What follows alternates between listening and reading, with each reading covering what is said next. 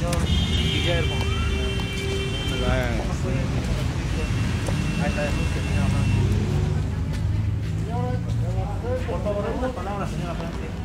En relación a este hecho, yo sé que está sufriendo bastante, ¿no? Porque recientemente se había casado. ¿no? Solamente puedo decir una cosa, no le deseo a nadie el calvario que estoy viviendo por solo el hecho de estar casada 16 días.